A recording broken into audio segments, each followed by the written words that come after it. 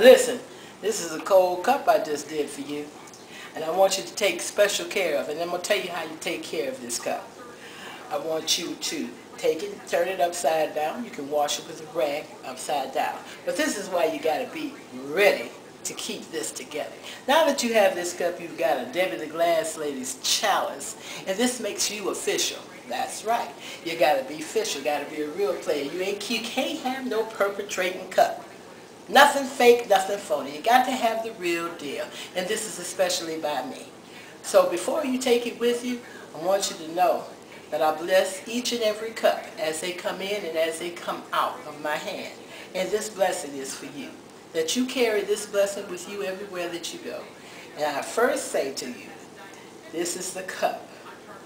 The cup of Reggie. Lord Father God, you know all about him. You know all about him from his hair to his toes. Father God, I want you to bless him. Any afflictions, any addictions, any problems, Father God. I want you to solve them. In the name of Jesus, I want you to protect him, guide him, and give him courage and prosperity. And these things I pray. Amen. And when you carry that, you carry that with you you go. When you drink that, you're sipping a prayer.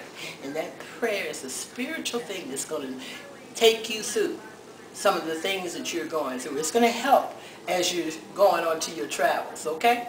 So this is what I want you to do, baby. Sip from the cup. Church.